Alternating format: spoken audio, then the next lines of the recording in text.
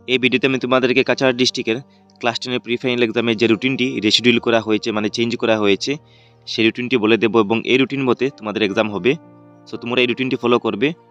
আর এই রুটিন মতে ক্লাস টেনের প্রি ফাইনাল এক্সামের মর্নিং শিফটের টাইম হলো nine AM to twelve noon এবং আফটারনুন শিফটের টাইম হলো twelve thirty PM to three thirty PM so ফার্স্টের এক্সাম ডেটটি হলো দুই হাজার তেইশ বর্ষের জানুয়ারি মাসের উনিশ তারিখ থার্সডে সো এই ডেটে মর্নিং শিফটে কোনো এক্সাম নেই, কিন্তু আফটারনুন শিফটে তোমাদের ইংলিশ সাবজেক্টের এক্সাম হবে।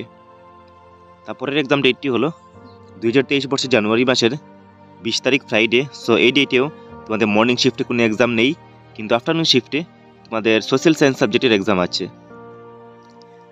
তারপরের এক্সাম ডেটটি হলো দুই হাজার তেইশ বর্ষের জানুয়ারি মাসের একুশ তারিখ স্যাটারডে সো এই দিন তোমাদের মর্নিং শিফটে এমআইএল সাবজেক্টের এক্সাম হবে। এমআইএল মানে তোমাদের বেঙ্গলি এসামিস এইগুলো।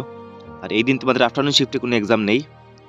তারপরের এক্সাম ডেটটি হলো দুই হাজার তেইশ বর্ষের জানুয়ারি মাসের সাতাইশ তারিখ ফ্রাইডে সো এই ডেটে তোমাদের মর্নিং শিফটে কোনো এক্সাম হবে না, কিন্তু আফটারনুন শিফটে জেনারেল ম্যাথমেটিক্স মানে তোমাদের ম্যাথ সাবজেক্টের এক্সাম হবে।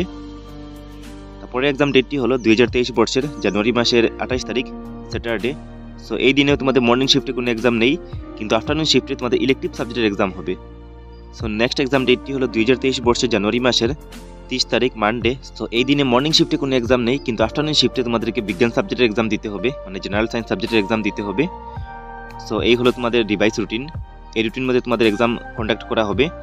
আর নিচে আবার লিখে আছে, দেখো, যে any change in the above programme will be inform later on মানে যদি এই রুটিনের মধ্যে কিছু চেঞ্জ করা হয়, তবে তোমাদেরকে আবার বলে দেওয়া হবে মানে রুটিনটি রিশিডিউল করা হবে।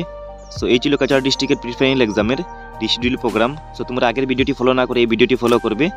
আর এই ভিডিওটি তোমরা তোমাদের বন্ধুদের সঙ্গে মাস্ট একবার শেয়ার করে দেবে।